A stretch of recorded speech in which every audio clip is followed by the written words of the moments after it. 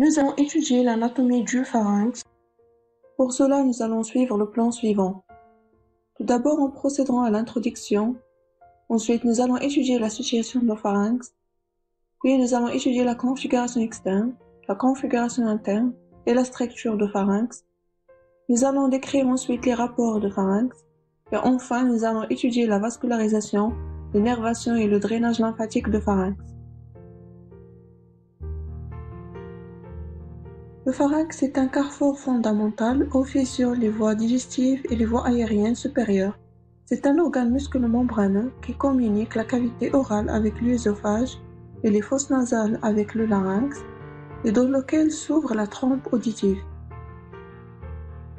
Par conséquent, il sert en la déglutition,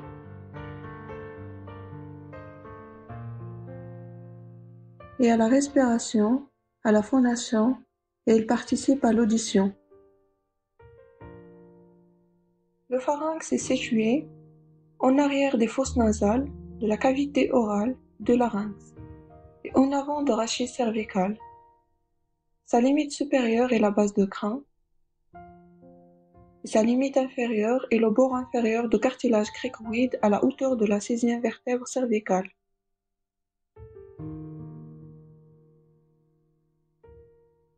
Le pharynx est un conduit musculo-membraneux, médian, impair et symétrique, en forme d'une gouttière ouverte en avant. Sa face antérieure, plus étroite que la paroi postérieure, est présente de haut en bas les orifices pharyngonasaux pairs et symétriques, qui sont les coins, un orifice médian, qui est l'orifice pharyngolaryngé ou le vestibule. Le pharynx se prolonge par l'œsophage et présente à ce niveau une formation sphinctérienne appelée la bouche œsophagienne, qui s'ouvre devant la progression de bol alimentaire. Le diamètre transversal de la gouttière pharyngée n'est pas régulier, il se rétrécit de haut en bas, il est de 6 cm au niveau des insertions crâniennes et de 4 cm au niveau de l'os de 2 cm au niveau de la bouche œsophagienne. Sa longueur totale est en moyenne de 15 cm.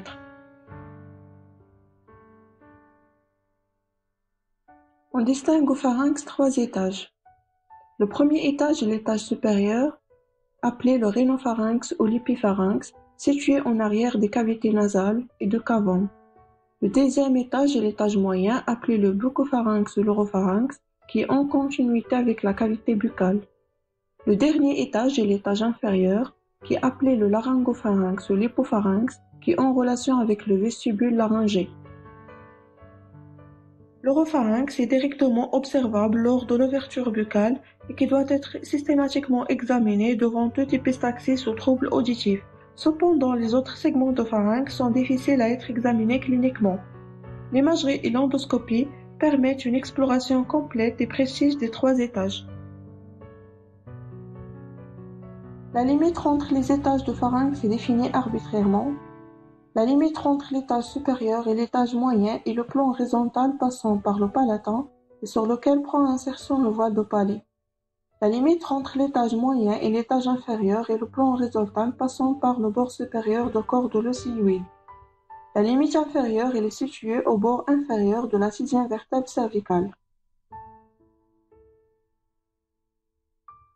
Le rhinopharynx, le nasopharynx ou le cavum est purement aérienne elle communique avec les fosses nasales et avec l'oreille moyenne par l'intermédiaire de la trompe d'Eustache.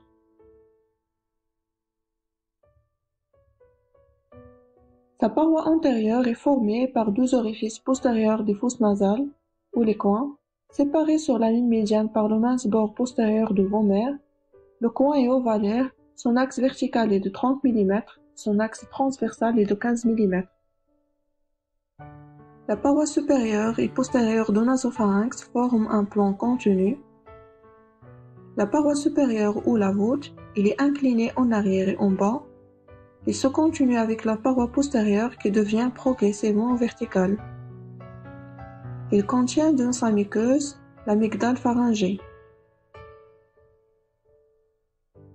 La paroi inférieure de nasopharynx est mobile Il est constitué par la face dorsale de voile de palais. Les parois latérales du rhinopharynx ont une surface ondulée présentant deux reliefs. Un ensaillé appelé le pavillon tubaire entourant l'orifice pharyngien de la trompe d'Eustache.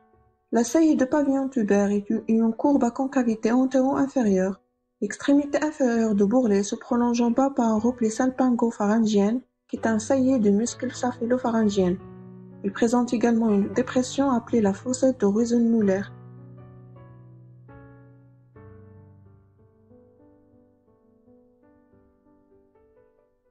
L'oropharynx ou le buccopharynx peut être divisé en deux segments. Un segment antérieur appelé le vestibule du pharynx, constitué par le voile de palais et ses deux piliers, la loge amygdalienne et la base de la langue. Et un segment postérieur constitué par la paroi postérieure et les sillons latéraux. Le segment antérieur de l'oropharynx est constitué de voile de palais qui est une cloison musculo-membraneuse la face antéro-inférieure appartient à la cavité buccale et à l'oropharynx. Son rôle principal est de fermer la communication entre le rhinopharynx et l'oropharynx lors de la déglutition afin d'éviter le passage de bol alimentaire vers les voies aériennes supérieures. La portion pharyngée de la langue est presque verticale, constitue la partie basse de la paroi antérieure de l'oropharynx. La loge amygdalienne est interposée entre les piliers antérieurs et postérieurs de voile et contient l'amygdale palatine une formation lymphoïde verticale qui a la forme d'une amande allongée. Les infections des tonsilles palatines sont fréquentes chez l'enfant et l'adulte et sont d'origine virale surtout mais aussi d'origine bactérienne. La tonsillectomie correspond à l'ablation chirurgicale des tonsilles palatines. Elle est indiquée dans les angines à répétition, dans l'abcès péritonsillaire récidivant et quand l'hypertrophie des tonsilles palatines provoque une gêne respiratoire et dans l'atteinte tumorale des tonsilles palatines. Le laryngopharynx ou l'hypopharynx, il est long de 5 cm et se rétrécit de haut en bas. Ses reliefs internes sont antérieurs et déterminés par la présence de larynx qui sont, de haut en bas, l'épiglotte, l'orifice laryngé, la face postérieure des cartilages aryténoïdes et le chaton cricoïdien. De chaque côté de bord latéral de l'épiglotte aboutissent trois replets. En avant le replet glosso-épiglottique latéral, en arrière, le repli arrêt-épiglottique et en haut et latéralement, le repli pharyngo-épiglottique. De part et d'autre de larynx, la cavité pharyngée présente deux gouttières assez vastes qui sont les gouttières pharyngo-laryngées ou les sinus périformes.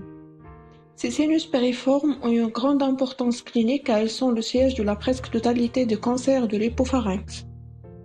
La paroi postérieure de laryngopharynx présente en regard de la convexité postérieure du cartilage cricoïde la bouche œsophagienne, qui se présente sous forme d'un sillon transversal au repos et sous forme d'un orifice semi-lunaire.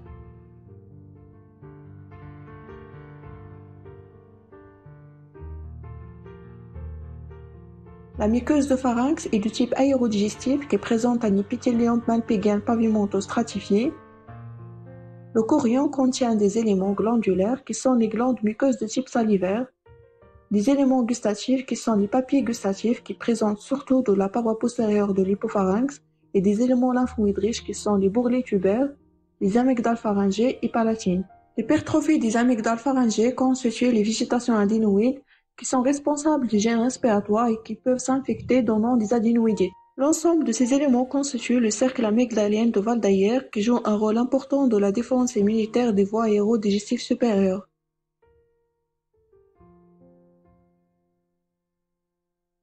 La gouttière pharyngée a des insertions antérieures et supérieures.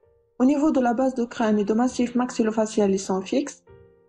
Et au niveau de larynx, ils sont aussi cartilagineuses et immobiles.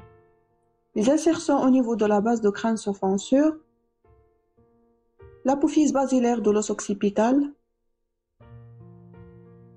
les parties voisines dessinant un trapèze, et latéralement l'insertion va de l'épine du sphénoïde à la racine de l'aile médiale de l'apophyse ptérygoïde. Les insertions maxillofaciales de pharynx se font de haut en bas, sur le bord postérieur de l'aile médiale de l'apophyse ptérygoïde, sur le ligament ptérygomaxillaire et sur le maxillaire inférieur, alors que les insertions sur le squelette laryngé se font sur la petite et la grande corne de l'océoïde, la face latérale et le bord postérieur de l'aile hyoïdienne, et le bord postérolatéral du cartilage cricoïde. Les muscles de pharynx sont distingués en deux groupes musculaires, le groupe des muscles constricteurs de pharynx, qui sont trois de chaque côté, le constricteur supérieur, le constricteur moyen et le constricteur inférieur. Chacun est réuni à son homologue sur la ligne médiane par un rafet postérieur. Ils sont plats et forment une sangle à concavité antérieure.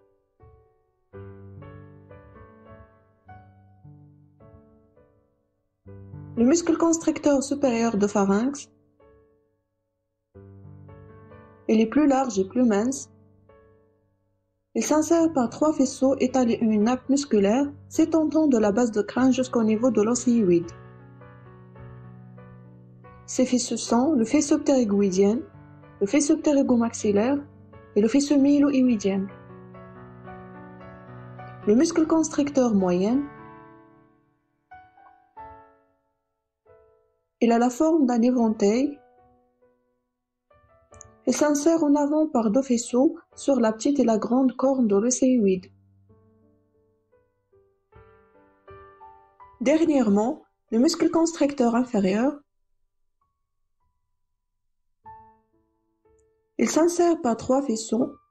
Un faisceau thyroïdien qui s'insère sur la face latérale de l'aile thyroïdienne un faisceau cricothyroïdien qui s'insère sur le bord inférieur de l'aile de cartilage thyroïde et sur le cartilage cricoïde, et un faisceau cricoïdien qui s'insère sur l'angle postérolatéral du cartilage cricoïde.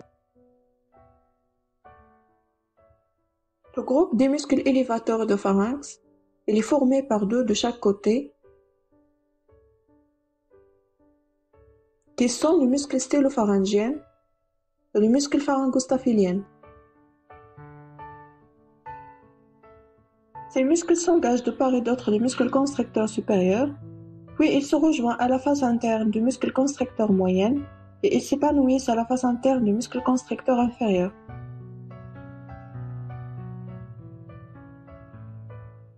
Les aponevroses de pharynx, sont au nombre de deux. Elles recouvrent le plan musculaire pharyngé. En dedans, on a l'aponévrose intrapharyngée, qui est une couche celluleux-fibreuse, placée entre le plan muqueux et le plan musculaire. Il forme la squelette interne de pharynx, dont le rhinopharynx est de type fibreux. Cette aponévrose constitue une zone de résistance à l'extension des tumeurs de l'hypopharynx. En dehors, l'aponévrose péripharyngée, qui est résistante et dense, il enveloppe l'extérieur des muscles pharyngés. Il forme le plan de glissement sur l'aponévrose prévertébrale.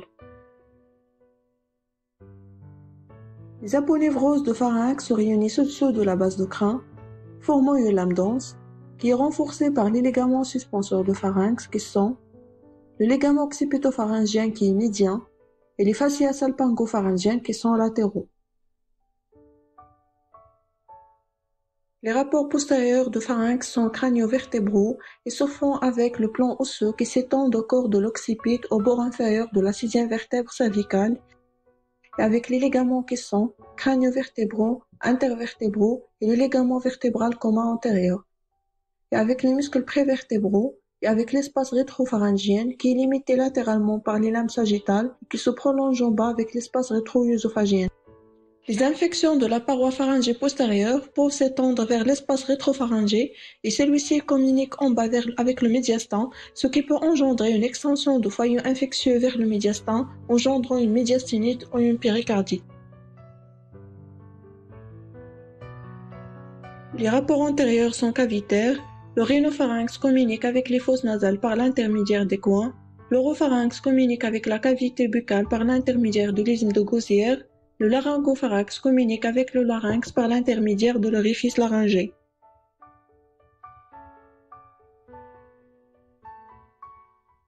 Les rapports supérieurs sont basilaires et se font avec les corps du sphenoïde et de l'os occipital. Le pharynx répond en haut en avant à la selle torsique en haut en arrière à la partie basilaire haute de la fosse postérieure, en haut et latéralement à la partie postérieure du sinus caverneux que pénètre l'artère carotide interne. Les rapports se font par l'intermédiaire des apex pétraux et des trochdichérés antérieurs. Nous allons étudier l'anatomie des glandes salivaires. Pour cela, nous allons suivre le plan suivant. Tout d'abord, nous procéderons à l'introduction, puis nous allons étudier les glandes salivaires accessoires, ensuite nous allons étudier les glandes salivaires principales qui sont au nombre de trois. La glande parotide, la glande sous-maxillaire, la glande sublinguale. Les glandes salivaires sont des glandes exocrines annexes à la cavité orale. Leur rôle principal est la production et la sécrétion de la salive qui aide à la mastication, à la digestion et à la protection de la muqueuse orale. On distingue deux catégories de glandes salivaires, les glandes accessoires appelées aussi des glandes mineures et les glandes principales appelées aussi des glandes majeures.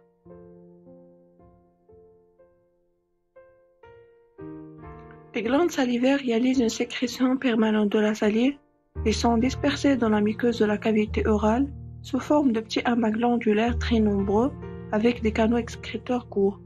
On distingue les glandes labiales, les glandes linguales, les glandes jugales les glandes palatines. Les glandes salivaires principales sont des amas glandulaires bien individualisés en dehors de la muqueuse orale ils sont entourés d'une capsule conjonctive. Ils sortent de la cavité orale par des canaux excréteurs propres. Leur sécrétion est discontinue et déclenchée par un stimulus olfactif, visuel, gustatif ou psychique. Il existe trois paires de glandes salivaires disposées autour de la mandibule, la glande parotide, la glande sous-maxillaire et la glande sublinguale. La glande parotide est la plus volumineuse des glandes salivaires, elle pèse environ 30 grammes. En forme de prisme quadrangulaire, elle est située en avant de l'oreille, sur la branche montante de la mandibule et sur la face latérale du muscle masséter. Il atteint en haut l'arcade zygomatomallaire, il dépasse en bas l'angle de mâchoire. Elle occupe dans cette région une excavation appelée la loge parotidienne. La parotidite orlienne est une infection de la parotide provoquée par le virus orlien qui s'accompagne des douleurs mastoïdiennes réveillées par la palpation des trois points de Riley et de Barthez, qui sont l'apex du processus mastoïde, l'angle mandibulaire et l'articulation temporomandibulaire. La loge parotidienne, de forme prismatique triangulaire, circonscrite par la branche montante de la maxillaire inférieure, le ventre postérieur du muscle dégastrique et la bandelette maxillaire. La loge parotidienne présente une paroi latérale formée par la ponévrose cervicale superficielle tapissée par le plan adipeux et la peau. Une paroi antérieure formée par les bords postérieurs du muscle masséter et ptérygoïdien médial située de chaque côté de la branche montante de la mandibule. Une paroi postérieure, formée par le diaphragme stylien, renforcée par les ligaments styliens, stylomaxillaire et stylo-huidienne. La loge parotidienne présente une extrémité supérieure qui répond au conduit auditif externe en arrière, à l'articulation temporomandibulaire en avant, une extrémité inférieure qui est constituée par la bandelette maxillaire qui tue l'âme faciale tendue entre la gaine du muscle sternocleidomastoïdien et l'angle mandibulaire. La glande parotide épouse la loge parotidienne et présente une face latérale recouverte par le plan cutané, une face antérieure qui présente deux prolongements glandulaires, un prolongement qui est médial et un prolongement latéral d'où immerge le canal de Sténon, une face médiale pharyngienne recouverte par la ponévrose profonde. Une face postérieure irrégulière moulée contre le diaphragme stylien.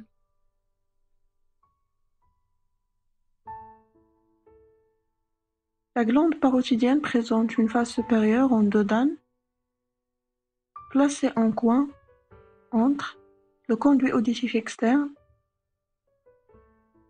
et l'articulation temporomandibulaire et une face inférieure au contact avec la glande sous-maxillaire.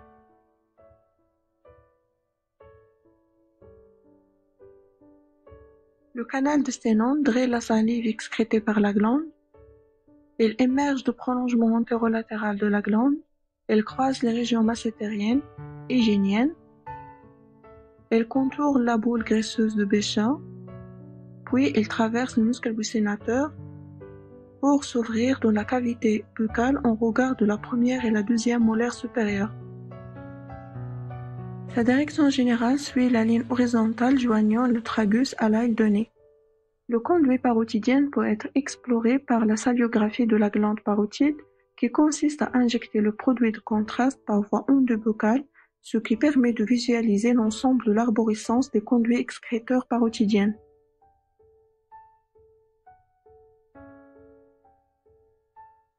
En dehors de la loge parotidienne, la parotide répond aux espaces rétrostyliens qui contient la veine jugulaire interne, l'artère carotide interne, les quatre dernières nerfs crâniennes qui sont le nerf glossopharyngien, le nerf vague, le nerf spinal et le nerf hypoglosse, et à la chaîne sympathique cervicale. Les rapports antérieurs se font avec le muscle stéloglosse et les artères palatines et pharyngiennes ascendantes. En dehors, la parotide est palpable sous la peau superficielle du cou et la peau. De la loge parotidienne, la glande parotidienne est traversée par un ensemble des éléments vasculonerveux intraparotidiens qui sont le nerf facial, le nerf auriculotemporal, l'artère carotide externe, la veine jugulaire externe,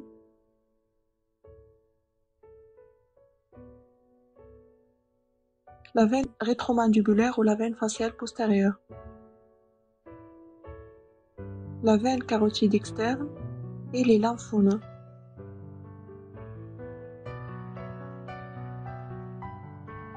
La vascularisation artérielle de la partie profonde de la glande parotide provient des branches profondes de l'artère carotide externe. La vascularisation artérielle de la partie superficielle de la glande provient des branches de l'artère temporale superficielle. Le drainage veineux se fait dans la veine jugulaire externe et la veine rétromandibulaire.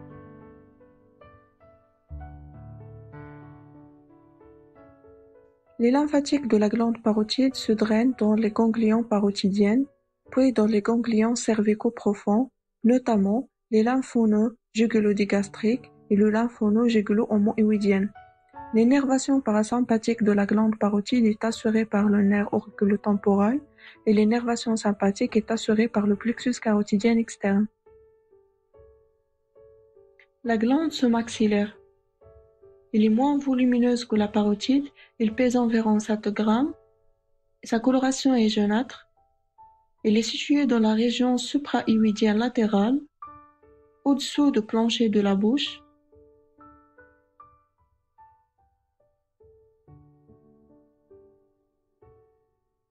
et en dedans de la face médiale de la mandibule et en dehors de la base de la langue et la paroi latérale de pharynx. Il occupe dans cette région une excavation appelée la loge sous-maxillaire. La loge sous-maxillaire est un espace ostéomusculo-aponeurotique. Il a la forme d'un prisme triangulaire à direction antéro-postérieure. La loge sous-maxillaire présente une paroi supérolatérale qui est constituée par la fossette sous-maxillaire, située à la face interne du corps de la mandibule, et d'une paroi inférolatérale constituée de dehors en dedans de la peau qui engaine le muscle poussière du cou et de l'aponevrose cervicale superficielle. Cette paroi constitue la voie d'exploration clinique et d'abord chirurgicale de la glande.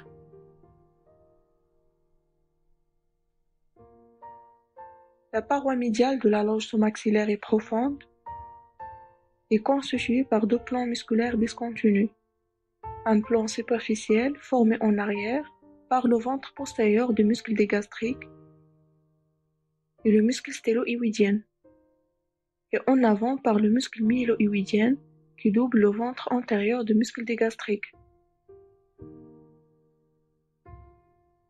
Et par un plan profond formé par le muscle constricteur moyen de pharynx et par le muscle iugloss.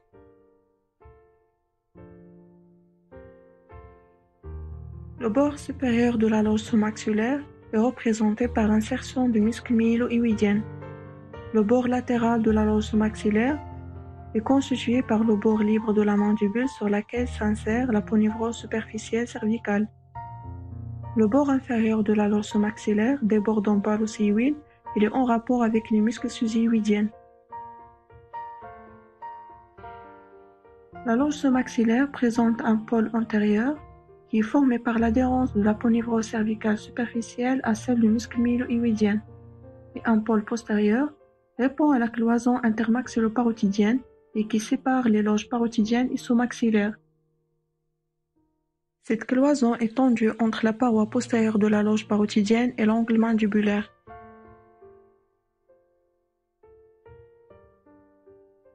La glande sous-maxillaire présente un prolongement postérieur en arrière et en dessous de la région para-amygdalienne et vers la région de la carotide externe, et un prolongement antérieur sublingual, le plus important, qui contourne le bord postérieur du muscle mylohyoïdien et s'engage entre la face supérieure de ce muscle et la muqueuse sublinguale. Le canal de Wharton est le canal excréteur de la glande sous-maxillaire est né de la réunion des canaux secondaires. Il contourne le bord postérieur du muscle mylohyoïdien accompagné de prolongement antérieur de la glande. Il se dirige en avant, en dedans et en haut. Il croise l'extrémité postérieure de la glande sublinguale. Il se termine au niveau de la caroncule salivaire, située à la base du frein de la langue, où il débouche par le stéum ombilical. La glande sous-maxillaire est en rapport avec les éléments sus et sus-mylohyoïdiens et qui sont la veine faciale, l'artère faciale, les ganglions lymphatiques préglandulaires qui sont les ganglions prévasculaires rétrovasculaires et les ganglions rétroglandulaires, le nerf lingual et le nerf grand hypoglosse. La vascularisation artérielle de la glande sous-maxillaire provient des branches de l'artère faciale par quelques rameaux de l'artère submentale qui elle-même branche de l'artère faciale. Le drainage veineux de la, glande sous-maxillaire se fait par les veines submentales et la veine faciale qui se draine vers le tronc veineux théringo-lingofacial puis vers la veine jugulaire interne.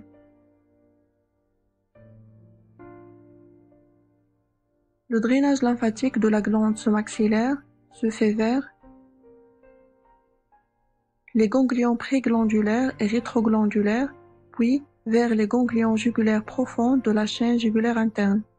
L'énervation parasympathique de la glande sous-maxillaire est assurée par le nerf lingual et le ganglion submandibulaire. L'énervation sympathique de la glande sous-maxillaire provient de ganglion cervical supérieur formant le plexus facial.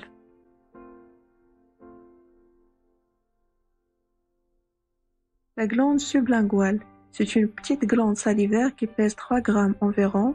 Sa coloration est jaunâtre. C'est une glande mixte à prédominance muqueuse. La glande sublinguale est située de la partie latérale du plancher buccal dans une loge qui est limitée en haut par la muqueuse du sillon alvéolo-lingual, en bas par les muscles myélo-hyoïdiens, en dedans par les muscles longitudinales inférieurs, génio-hyoïdiens et génioglosse et en dehors par l'arcade maxillaire inférieur. Cette loge communique en avant avec la loge sublinguale de côté opposé et en arrière avec la région submandibulaire. La loge sublinguale présente une paroi supérieure, une paroi inférieure, une paroi antérolatérale, une paroi médiale,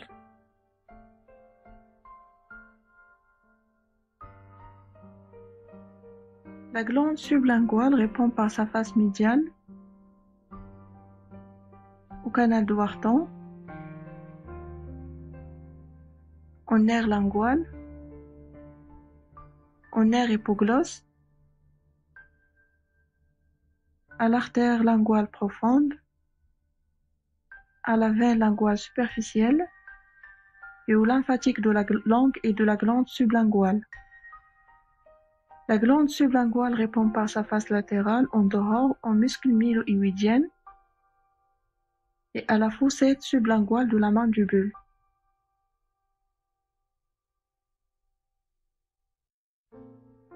Le bord supérieur de la glande sublinguale est épais et soulève la muqueuse du sillon alvéolo-lingual en formant le pli au sublingual. Son bord inférieur répond en bas en muscle mylo-hyoïdien et gynio-hyoïdien. L'extrémité antérieure de la glande sublinguale répond en avant à la face postérieure de la symphyse mentonnière et en arrière à la loge submandibulaire et au prolongement antérieur de la glande submandibulaire. La glande sublinguale possède de nombreux petits canaux qui s'ouvrent directement à la muqueuse du plancher buccal au-dessus du pli lingual. Parmi eux, un conduit plus volumineux appelé le conduit sublingual majeur qui s'ouvre au niveau de la caroncule sublinguale en dehors du conduit submandibulaire. La vascularisation artérielle de la glande sublinguale est assurée par l'artère sublinguale branche terminale de l'artère linguale. Le drainage veineux de la glande sublinguale se fait vers les veines sublinguales qui se jettent dans les veines linguales profondes et la veine linguale superficielle, formant le tronc de la veine linguale qui se jette directement de la veine jugulaire interne ou dans le tronc veineux théro-lingo-facial. Les lymphatiques de la glande sublinguale se drainent vers les ganglions submentaux et les ganglions submandibulaires puis il rejoint les lymphonodes cervico-profonds de la chaîne jugulaire interne. L'énervation parasympathique de la glande sublinguale est assurée par le nerf lingual et le ganglion submandibulaire. Et l'énervation sympathique provient du ganglion cervical supérieur formant un plexus facial.